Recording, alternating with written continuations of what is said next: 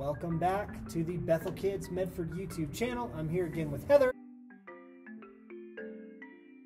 And she brought another guest. I did. This is King Tut, the Egyptian tortoise. This cute little guy is actually the second smallest species of tortoise in the world, he's 23 years old. Now, here's a fun fact Did you know that all tortoises are turtles, but not all turtles are tortoises? Well, this species of tortoise is native to Egypt and Libya, where they live in the desert and on the sandy gravel plains. Their light coloring is actually a form of camouflage that helps them to blend into their surroundings to avoid and not be seen by predators. Now, if I asked you to think of one word that would describe a tortoise, what word would you choose? Maybe you'd say cute, or in this case, small, but it's more likely you would choose a word like patient or slow. That's because many of us grew up with the well known story about the tortoise and the hare a story that pits the two animals against each other in a race.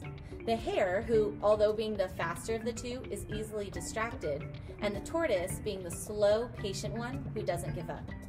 That reminds me of a verse in the Bible.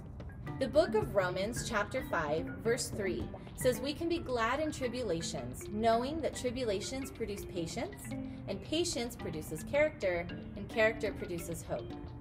Sometimes what seems like a hardship or trouble at first is the very thing we need to go through. And patience is a great thing to have because ultimately it leads to hope. The Bible also says in the book of James, chapter 1, verses 1 through 4, that when you let have patience have its perfect work, you will be complete, lacking nothing. So remember the tortoise. He faced his trial without worry. He patiently endured to the end. And as for you, a child of God, Remember what he has said to you. Put your hope in him, and you will be complete, perfect, and lacking nothing. I love that. What a good reminder. Hey, today remember that uh, you can like the page, subscribe to it, and also turtles uh, don't move very much. They're very slow and patient.